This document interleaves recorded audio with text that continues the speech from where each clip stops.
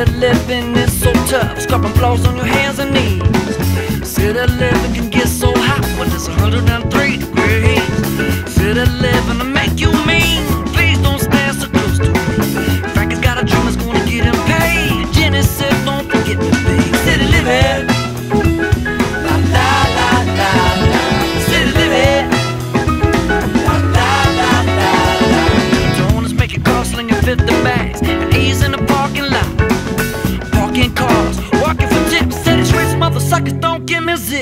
name is in the back of my limousine.